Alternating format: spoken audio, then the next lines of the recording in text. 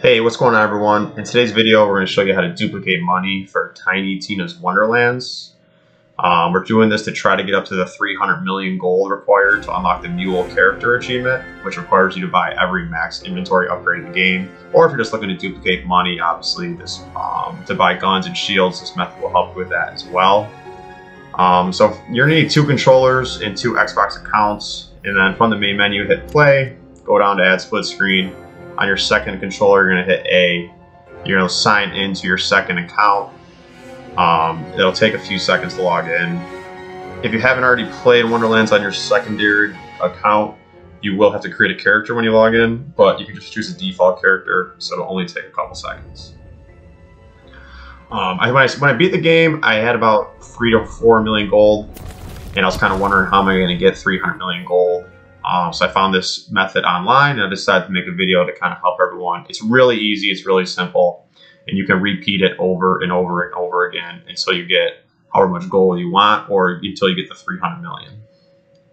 All right, so once you're in, uh, the main character, you're going to initiate a trade with the secondary uh, character by holding X.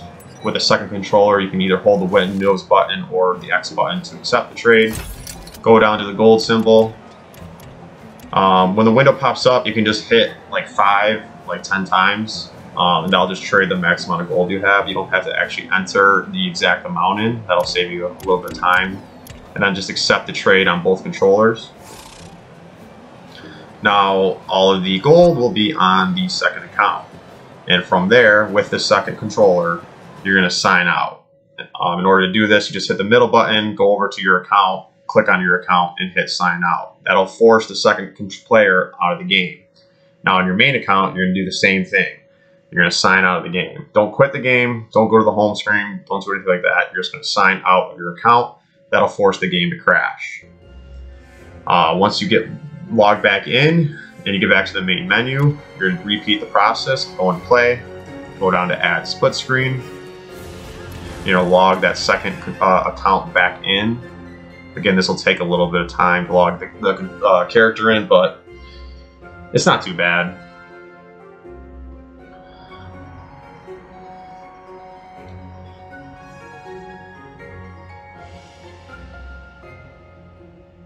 Alright, now that both accounts are logged in, we're going to go up and hit continue. That'll load us back into the game. Once we're in, you can probably figure out what we're going to do from here but we're going to trade all the gold that's on the second account back to the main account. But the main account will still have all the gold that you traded, which is where this exploit comes in on how to double the money. So uh, initiate a trade with your controller, accept the trade, and then once you're in the trade menu, you'll see that both accounts have all uh, the same amount of gold. So on the second account, you're going to trade all the gold that you just got back to the main account, accept the trade on both accounts, and I'll show you, but my main account will now have all the gold. It'll be about 460 million, which will be more than enough to unlock the achievement. Uh, this will be the last time that I'm doing this.